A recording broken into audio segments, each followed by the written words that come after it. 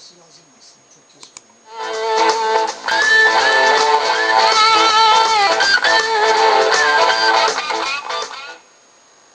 Evet, ekonomideki son durumu aldık. Ve Ekonomik olarak haftayı kapattık ve değerli sanatçılarımızla e, Sayın Hayati Misman ve Uğur Çalışkan'la birlikteyiz. Tekrar hoş geldiniz efendim. Teşekkür ederim. Sizin borsayla ekonomiyle aranız nasıl? Benim hiç yok. Sizin yok. parayla ne borsayla. Sizin efendim? Benim var biraz. Ee, aslında sanatçıların pek alakası yoktur gibi görünür ama e, benim konumdan dolayı biraz ilgiliyim. Benim varoluşçulukla ilgili bir konum var sanatta.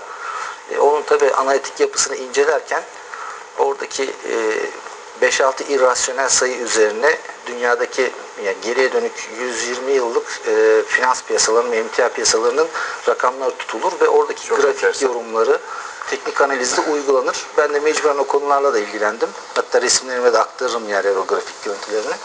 O E, formülizasyonlarını da aktarırım. O yüzden ben bayağı teknik analiz üzerinde bilgiye sahibim. Tamam efendim. Bunu ayrıca bir e, program konusu yapmak lazım diyelim. Bugünkü programımızın konusunu bir kere daha izleyenlerimize paylaşalım. Üç Kuşak Sanat Resim Sergisi. Bu proje e, nasıl ortaya çıktı? Fikir babası e, kimdi? E, ve diğer üçüncü ismi de yine sizden rica edelim diyerek hocamıza mı verelim efendim ilk söz? Teşekkür ediyorum. Üç kuşak e, tabii bu fikir Uğur'dan geldi ama ben bu gibi e, programları çok önemsiyorum. Çünkü e, bizim e, sanat hayatımız okul bittiği zaman bitmiyor. Ve yalnız başına da değiliz. Hep birbirimizden, biz hocalarımızdan, bizim öğrencilerimizle bizden böyle bir etkileşim içerisindeyiz. Onun için ve biz birbirimize bir de pozitif enerji veririz. Ben mesela Adnan Sayın Adnan Turan hocam e, aşağı yukarı 80 yaşına gelmiş olmasına rağmen izlediğim zaman onun enerjisi sabahtan akşama kadar resim yapması bana pozitif enerji olarak yansıyor. Ben de öğrencilerime böyle bir enerjiyi yaymakla kendimi sorumlu hissediyorum. Ee, onlar da gelip bana benim çalışmalarımı görüp onlar da bir enerji alıp gidip kendi atölyelerinde çalışıyorlar. Ve böyle e, kuşaktan kuşağa bir e, usta çırak gibi e, okul bitse de hayatın içerisinde bu ilişkiler hiç bitmeden devam ediyor. Ben e, Uğur aynı zamanda teşekkür ediyorum böyle bir organizasyonu yaptığı için. E, bu ilişkileri, bu gibi sergileri çok önemsiyorum. Çünkü birbirimizle hem iletişimi koparmıyoruz hem de bizler neler, neler yapıyoruz. Bizim hocalarımız neler yapıyor, biz neler yapıyoruz. Bizim öğrencilerimiz neler yapıyor. Böyle birbirimize bir etkileşim de oluyor. E, bu da sanat adına bence sevindirici bir şey. Kesinlikle. Bu arada hemen izleyenlerimize de paylaşalım. Adnan hocamız da bugün bizle birlikte olacaklardı öyle hedeflemişlerdi ama küçük bir rahatsızlık olduğu için kendisini çok yormamak. ke- Kendisine de buradan Evet. hem saygılarımı sunuyorum hem de geçmiş olsun diliyorum. Evet, acil şifalar dileyelim. E, kış deyince Ankara'nın havası da malum olunca insan ister istemez böyle ufak tefek kırgınlıklar yaşayabiliyor sıhhat anlamında. Tez zamanda acil Tabii, şifalar tabii. dileyelim. Buradan saygılarımızı, sevgilerimizi bir kere daha iletelim kendisine. Ellerinden öpüyorum hocam. Evet, aynen. Şimdi hocamın e, o sosyal ilişkilerin yanında usta çırak ilişkisinden ben devralayım. Hocamın çünkü Tamam. çırağı pozisyondayım. E, gen aktarımı süreci sağlıklı yapılmıyor aslında toplumumuzda. Yani e, bilgi birikimi olan usta sanatçılarımıza biz yeteri kadar e, kıymet veri gibi görünüyoruz ama vermiyoruz. Yani halbuki o, evet. e, o bilgileri, onun e, zaman içerisinde edindiği tecrübeleri aslında toplum için e, mücevher niteliğinde kıymetlerdir aslında. Bu bilgiler bir şekilde gen aktarımının altındaki insanlara aktarılması gerekiyor. Kurumlar maalesef bunu göz ardı ediyor. Yani üniversite bünyesinde e, artık yaşlandıkça biraz insanlar uzaklaşıyor. Yerine başka birini de- devralmaya çalışıyorlar. Yeteri kadar saygıyı göstermiyorlar hocalarımız. Halbuki çok kıymetlidir. Onların her anını videolara çekmek lazım. Bilgilerin dokümanlara dökmek gere- gerekiyor ki alt kuşaklara bunu aktaralım. Bizim şöyle bir sürecimiz oldu. E, Turayn Hoca hepimizin hocası. Hayati Hocam'ın da hocası. Hayati Hocam'ı ve onun 5-6 arkadaşını Almanya'ya gönderen bir e, hocadır. E, ve sanat tarihinde çok ciddi bir yeri vardır. E, sanat tarihinde bir kırılma yaratmış hocadır Gazi'de. E, empresyonist dönemi neredeyse Cumhuriyet döneminde o dönemde bir nokta koyup e, ekspresif dönemi başlatmış hocalardan biridir ki çok ciddi bir durumdur bu. E, ilk sanat tarihi kitabını yazmış hocadır. Şimdi e, 5-6 belirlediği öğrenciyi Almanya'ya gönderip oradaki Avrupa'nın estetik algısını yakalayıp Türkiye'ye getirip öğretmeler için e, öne. Ve onlardan biri de Hayat Hocam'dır. Şimdi oradaki gidip gelen e, öğrencilerin hemen hemen hepsi şimdi birer üniversitede e, dekan veya yönetici, profesör oldu hepsi. Bizim kuşakta o e, Hayati Hocaların, ben Hayati Hocamın öğrencisiyim. Onun altındaki kuşak yani 85 yıllık Cumhuriyet tarihinde 3 kuşak oluştuysa biz o 3 kuşağı burada temsil ediyoruz. Öyle bir proje Hatta yapalım dedik. kuşak. Dört kuşak var. Bizim de altımızda ufak ufak biz de artık e, yaşlandık. E, oluşuyor. E, biz üç kuşağını bir proje altında böyle sunalım dedik. Belki örnek olur ama esas burada vurgulamak istediğimiz e, gen aktarımı, usta çırak hocamın dediği usta çırak ilişkisinde bilgi birikimini sağlıklı bir şekilde alt kuşaklara aktarmamız lazım. Çünkü toplumun buna çok ihtiyacı var. Şimdi birazcık e, sanattan uzaklaşır gibi yapıp o zaman bir şey sormak istiyorum size. Bu sadece sanatta değil galiba. Ülkemizdeki her atmosferde böyle. E, şimdi bakıyoruz diyelim Amerika Birleşik Devletleri'nde bir başkan emekliye ayrıldığında aslında sadece başkanlık koltuğunu bırakıyor. Ama kendisi dünyanın pek çok yerinde sadece Amerika'da değil bütün bilgi birikimini aktarmak Tabii, için konferans, konferans dolaşıyor. Bizde bir kişi koltuğu bıraktığı zaman hem e, tukaka ediliyor hem de bir daha kimse kapısını çalmaz hale geliyor. E, bu siyasetimizde de var, sporumuzda da var, sanatımızda da dolayısıyla var. Ekonomiden örnek vefa diye bir şey var. Mesela, e, yani e, herkesin bir sonraki kuşağa bir vefa borcu var. Çünkü sanatla birikimler e, çok kolay elde edilen bir şey değil. Uzun çabalar, uzun çalışmalar sonucunda elde edilir. Çalışmasan zaten bu da elde edilmez. Yani bu birikimleri e, bir önceki kuşağa ve arkadan gelen kuşağa aktarmak lazım. Onun için de bir e, bir vefa duygusunu hep in- insanların içlerinde taşıması lazım ki bunlar aktararak gelinsin. Buyurun. Şimdi e, ho- hocamın mesela kendi edindiği, kend, her sanatçı kendine ait bir üslup geliştirirken bir espas oluşturur. Yani bir derinlik. Ve orada da e, küçük küçük teknik birikimlerle üst üste koyarak kendine ait bir tarz geliştiriyor. Bu tarz öyle zaman içerisinde e, yaklaşık 15-20 yıllarda falan oluşan bir süreçtir. Öyle hemen oluşmaz.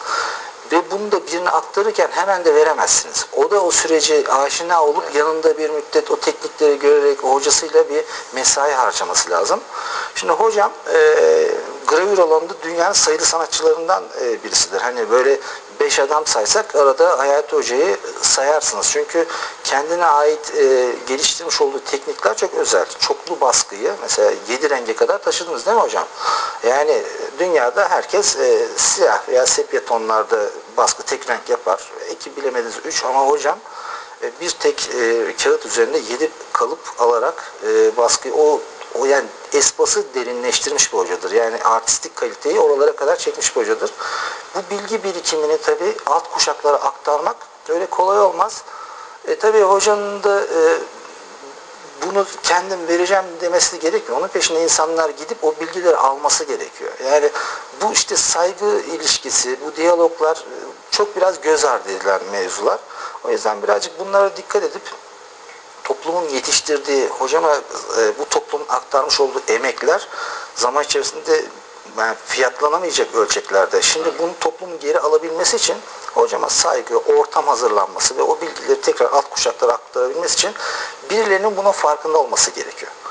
Yani farkında ne kadar farkındayız? Ben kendi adıma farkındayım ama yani bunu liderler, üniversite içindeki kurumlar, profesörler, idareciler farkına varıp daha çok hocaların o bilgilerinden faydalanmaları gerekiyor. Yani bizim yaptığımız burada küçük bir örnek aslında usta çeyrek ilişkisi. Güzel bir örnek. Dileriz e, sayıları artar ve pek çok kişi de buradan yine yeni feyizler alarak e, kendi öğrencileriyle yoluna devam ederler diyelim. Peki hocam öğrencilerinizle çalışırken hani bir kişinin burada artık hani usta çırak dememizde bir sakınca yok. Sizin çırağınız olma mertebesine erişmesi için e, kendinizin bir özel süzgeci var mı? Ya da zaman içinde e, o kendini belli ediyor mu? Yani biraz zaman var yoksa siz gördüğünüzde evet bu e, bizim çırağımız olabilir, e, bilgimizi aktarmaya değer gibi bir şeyiniz, kıstasınız var mı? Valla öyle bir kısasım yok ama e, çırak olabilmesi için kişinin çok çalışması lazım.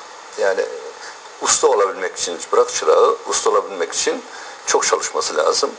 Ve kendine has demlik sözünü e, geçti. Stiller, usluplar geliştirmek o kadar kolay bir şey değil.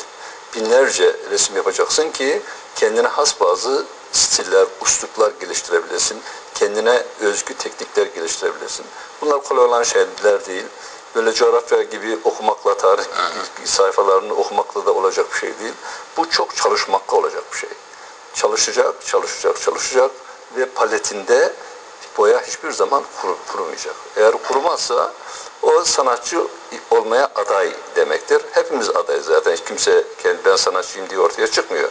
Onu ileriki tarih belirleyecek bir şey ama biz özveriyle gece gündüz demeden paletimizdeki boyayı kurutmadan çalışmaya ve bu konuda da bizden önceki hocalarımız bize nasıl örnek olduysa bizden e, sonra gelecek kuşaklara da e, çalışmalarımızla, kendi stilimizle e, örnek olmaya çalışıyoruz.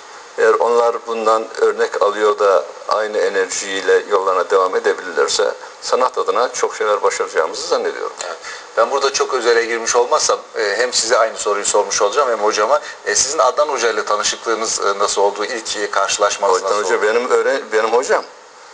Nasıl olacak? Bir hoca öğrenciyle nasıl tanışır? Almanya gönderdi öğrencilerden. Yani benim hocam tabii ki derste tanıştık. Derste Ama tanıştık. tabii hoca geldi şimdi anlatıyor bana. Ee, bizim de, desen bir kere bir sanatçı desen çok önemlidir. Yani bir ressamın deseni namusudur. İyi bir e, ressamın iyi bir desen çizmesi gerekir.